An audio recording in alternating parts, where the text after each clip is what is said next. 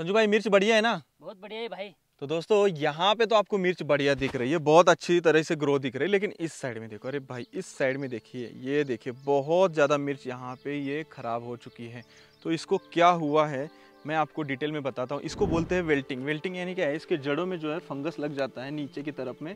ये देखिए ये देखिए इसको वेल्टिंग बोलते हैं और ये यहाँ पे लग जाता है फंगस और ख़राब हो जाता है। इसके लिए क्या कर सकते हैं?